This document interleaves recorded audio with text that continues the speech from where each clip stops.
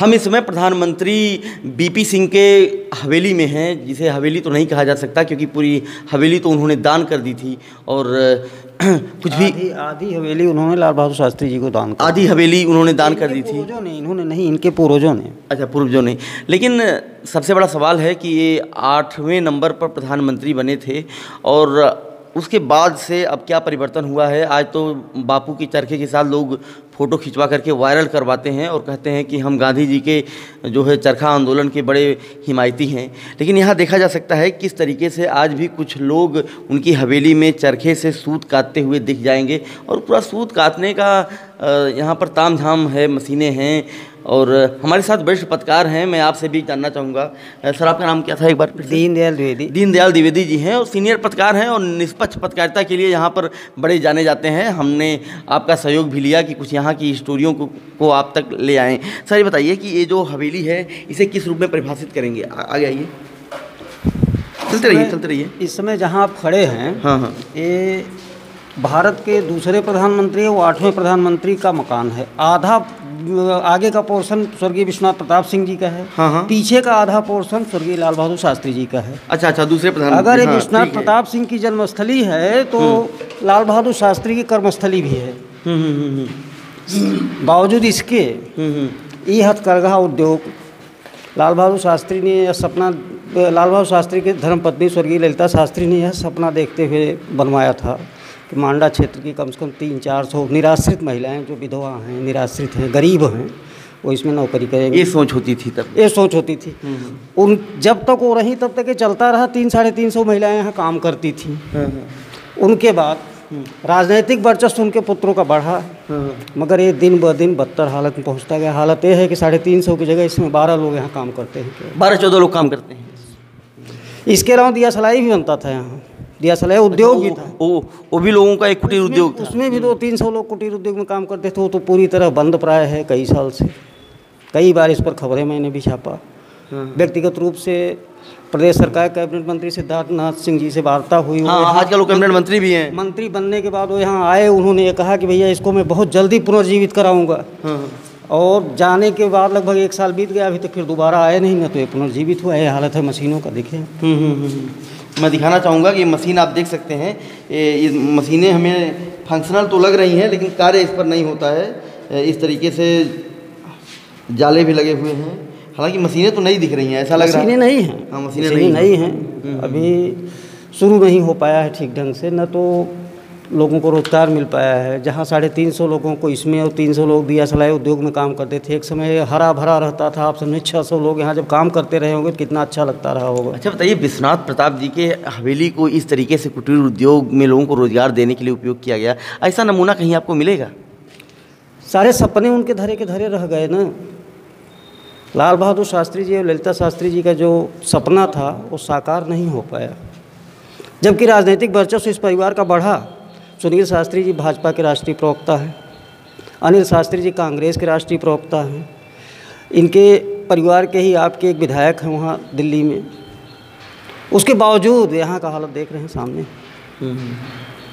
अच्छा ये जो ये जो मशीनें हैं आप क्या मानते हैं कि ये जो आजकल आधुनिक दौर में फ़ोटो खिंचवा करके सोशल मीडिया पर वायरल किया जाता है और लोग कहते हैं कि हम गांधी जी के साथ फ़ोटो खिंचवा रहे हैं उनको कुछ इससे सीख लेनी चाहिए? बिल्कुल सीख लेनी चाहिए।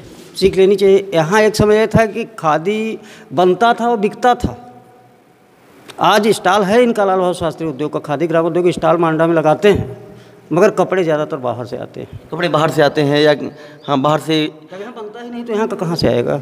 बाहर से आते हैं दुकान चलती स्टॉल चलता। है अच्छा जो लोग यहाँ पर काम करते थे वो लोग नीचे लूम चल रहा है। अच्छा नीचे लूम चल रहा है। लेकिन ये बताइए जो लोग यहाँ काम करते हैं वो लोग यहाँ के स्थानीय लोग हैं या स्थानीय लोग हैं आसपास के गाँवों के हैं हड़िया है भरारी है गिरधरपुर है मांडा खास के हैं। स्थानीय लोग काम करते थे। स्थानीय हैं। बिजली उजली की भी यहाँ समस्याएँ हैं थोड़ी बहुत क्या? बिल्कुल समस्या नहीं है बिजली है अनवरत बिजली है। बिजली बिजली की कमी नहीं बिजली कमी ठीक ठाक आती है। यानी सरकारों को इस पर ज़रूर ध्यान देना चाहिए ध्यान देना चाहिए। अगर सरकार ध्यान दे तो कम से कम साढ़े छः सौ परिवार तो यहाँ जियेंगे खाएँगे। एक परिवार की एक महिला अगर काम करेगी तो अपना परिवार तो चला लेगी। मकान का किराया नहीं देना है सब कुछ। मकान अपना है मकान अपना है। मकान अपना है सब कुछ। बाकी यहाँ के व्यवस्थापक आप हैं आपसे बात करें। हाँ अच्छा व्यवस्थापक आप हैं अरे वेरी गुड क्या नाम है आपका? हीरामणि। क्या नाम है? हीरामणि।